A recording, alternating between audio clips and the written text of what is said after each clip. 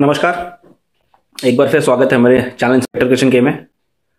अभी दस बज रहे हैं और अभी मैं ऑफ़िस से निकल रहा हूँ, अपना काम खत्म करके, लेकिन आप लोगों का एक बहुत ही ज़्यादा कमेंट आ रहा था कि इंटेलिजेंस ब्यूरो सिक्योरिटी असिस्टेंट और एम के एग्ज़ाम के लिए एक प्रॉपर स्ट्रेटजी बताइए सर की पढ़ाई कैसे करनी है। तो इसीलिए मैं ये टाइम निकाल के बता रहा हूँ आप लोगों को। बहुत ही फुल प्रूफ स्ट्रेटजी बताऊँगा। प्लीज़ इसको फॉलो करिएगा अगले दो महीने तक, जब तक आपका एग्ज़ाम नहीं होता है। जल्दी आपका एडमिट कार्ड भी आ जाएगा अगले महीने तक। अगले महीने के लास्ट में या मई के स्टार्टिंग में आपका एग्ज़ाम होगा, मेरे हिसाब से। चैनल पे अगर नया है तो चैनल को सब्सक्राइब करिएगा और सपोर्ट करिए, क्योंकि मैं बहुत मेहनत कर रहा हूँ आप लोग के लिए। चलिए स्टार्ट करते हैं। इंटेलिजेंस ब्यूरो का जो सिक्योरिटी सेशन का एग्ज़ाम है, उसका एग्ज़ाम पैटर्न आप सबको पता है कि पाँच सब्जेक्ट हैं general awareness general studies English maths और रीजनिंग सबके बीस बीस क्वेश्चन आने हैं। टोटल सौ क्वेश्चन होगा, एक नंबर का एक क्वेश्चन होगा नेगेटिव मार्किंग नहीं होगी और टोटल आपके एक घंटे का समय आपको दिया जाएगा पेपर को सॉल्व करने के लिए।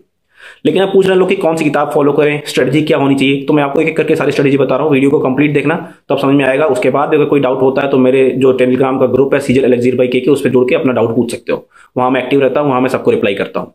तो चलो स्टार्ट करते हैं।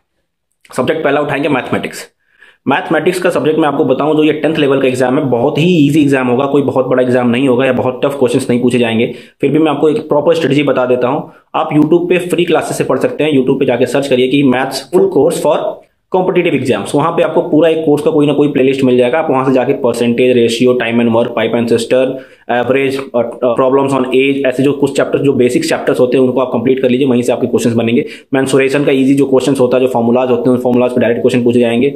जियोमेट्री में, जो सिंपल जियोमेट्री में कॉम्प्लीमेंट्री एंगल्स होते हैं one eighty ninety three sixty इस पे क्वेश्चन पूछे जाएँगे। तो आप वहाँ से जाके छोटे छोटे चैप्टर जो आपके मेन बेसिक चैप्टर से वहाँ से कंप्लीट कर लीजिए। आपको कोई ना कोई ऐसा चैनल मिल जाएगा जिसपे सारे वीडियोस अपलोडेड मिलेंगे। आपको, मैं आपको रिकमेंड करूँगा कि वाईफाई स्टडी का चैनल जाके देखिए। वहाँ पे आपको प्लेलिस्ट सारा मिल जाएगा। वहाँ से आप कंप्लीट मैथमेटिक्स कुछ स्पेशल चैप्टर्स कवर कर सकते हैं, जो मैंने आपको वीडियो बताया है। और उतने में ही आपका मैथमेटिक्स हो जाएगा। बाकी आपने टेंथ तक मैथ्स पढ़ा होगा तो वही वही चीज़ें आनी है। बिल्कुल सिंपल चीज़ें आनी है। सी आई एस आई भी बिल्कुल सिंपल ही आना है। तो उसके लिए आप बिल्कुल परेशान मत हुई कि एक प्रॉपर सा चैनल फॉलो कर लीजिए कुछ दिनों तक। जो बेसिक्स चैप्टर है, वहाँ से पढ़ लीजिए। दूसरा चीज़ मैं आपको बताऊँगा। इंग्लिश के बारे में। इंग्लिश भी कोई बहुत बड़ा हार्ड एंड फास्ट रूल नहीं है, उसके लिए आप इंग्लिश के लिए जितना भी प्रैक्टिस करेंगे इजी है। वो कैब के लिए आप जो एसएससी की किताब आती है वो कैब कर सकते हैं, या कोई भी इंग्लिश का किताब जो आपके कंपटीशन के लिए दी जाती है, आप उसको कर सकते हैं। अग्रवाल की भी कोई किताब आती है, या अगर आपको कोई किताब नहीं मिल रही है तो आप यूट्यूब पर जाके English by Rani ma'am search करेंगे, वहाँ पे आपको उनका साइनोनिम मिल जाएगा एंटोनी मिल जाएगा स्पेलिंग चेक मिल जाएगा, आपको एरर मिल जाएँगे फिलिंग द ब्लैंक्स मिल जाएँगे क्लोज के प्रैक्टिस मिल जाएँगे, उसमें सारे प्रैक्टिस सेशंस कराए गए हैं तो आप वहाँ से जाकर अगर वीडियोस को भी देख लेते हैं तो आपका इंग्लिश थोड़ा बहुत क्लियर हो जाएगा और उससे बहुत ही लो लेवल का इंग्लिश आना है, जो जो उस लेवल का पढ़ाया गया है उन्होंने।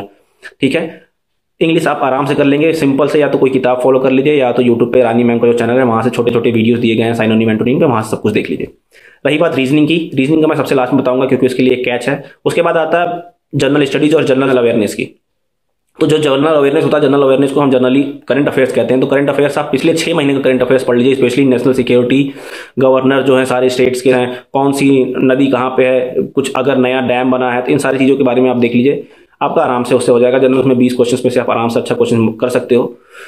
जनरल साइंस की जो बात आती है जनरल स्टडीज़ की बात आती है, मैंने आपको पहले बताया कि मनोहर पांडे जी की एक छोटी सी किताब आती है, पच्चीस रुपए की पतली सी किताब। आपको दो मुश्किल से बीस से पच्चीस दिन लगेंगे उसको पढ़ने में। आप उस किताब को कंप्लीटली पढ़ जाइए A to Z history polity physics chemistry सब कुछ उसमें दिया हुआ है। पच्चीस रुपए की मनोहर पांडे की जनरल स्टडीज़ की किताब आती है। आप उसको कंप्लीट कर जाइए, उससे बाहर कुछ भी नहीं आएगा। ये मेरी गारंटी है। अब आखिरी बात आती है रीजनिंग के लिए। लेकिन रीजनिंग से पहले आपको एक बात बताऊँगा कि आप जब टेक्स्ट बुक पर जाएँगे तो वहाँ आपको आईबी के सिक्योरिटी असिस्टेंट और एमटीएस के लिए बहुत सारे मॉक टेस्ट दिए हुए हैं। वो हाई लेवल के मॉक टेस्ट हैं। जो जो लेवल आपका एसए का एग्ज़ाम का होगा उससे थोड़े से ऊपर लेवल का है। तो अगर आप उसमें सेवेंटी परसेंटाइल भी स्कोर करते हैं तो आप आराम से एसए का एग्ज़ाम जो है क्लियर कर सकते हैं।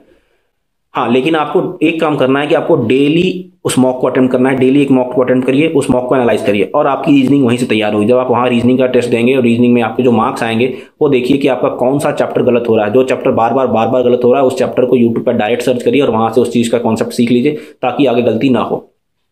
ठीक है? मॉक टेस्ट आपको डेली देना है, वही आपके सिलेक्शन का कारण बनेगा।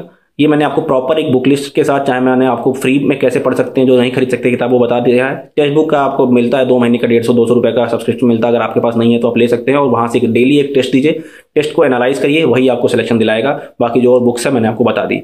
और भी आपको कोई डाउट हो तो नीचे कमेंट करिए, और ये ज़रूर बताइए कि आप कहाँ से कमेंट कर रहे हैं, कौन से डिस्ट्रिक्ट से कमेंट कर रहे हैं, और अपना नाम ज़रूर लिखिए उसमें, ताकि मैं नाम से आप लोगों को रिप्लाई कर सकूँ। और और भी कोई डाउट हो तो मेरे सीजल अलग भाई के से जुड़ जाइए ग्रुप से, और प्लीज़ चैनल को सब्सक्राइब करिए, और वीडियो को लाइक करिए और शेयर करिए। जय हिंद।